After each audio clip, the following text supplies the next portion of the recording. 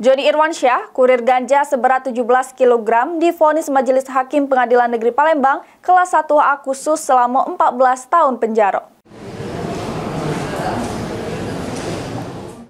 Inilah dia, Joni Irwansyah, pengedar atau kurir narkotika jenis ganja seberat 17 kg, ini jalani sidang putusan di Pengadilan Negeri Palembang kelas 1A khusus. Di hadapan majelis hakim yang diketuai Hakim Fatimah, Jeru amar putusannya nyata ke kalau terdakwa Joni Irwansyah sudah terbukti secara sah meyakinkan bersalah sudah menjadi perantara jual beli narkotika golongan satu jeru bentuk tanaman yang beratnya ngelebihi sekilo atau lima batang pohon ganja. Pecak mano yang diatur jeru pasal 114 ayat 2 Undang-Undang nomor 35 tahun 2009 tentang narkotika. Sehingga akibat perbuatannya terdakwa Joni Irwansyah dijatuhi pidana penjara selama 14 tahun, denda 1 miliar rupiah, subsidiar 6 bulan penjara.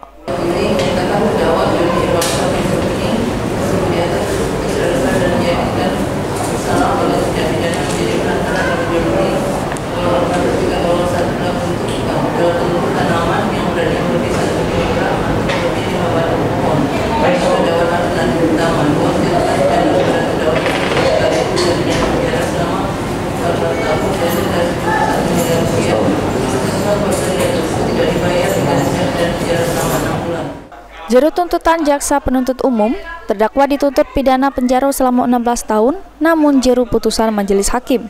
Sesudah mendengar keputusan tersebut, terdakwa sama penasehat hukumnya menerima hasil putusan yang sudah dibaca ke majelis hakim.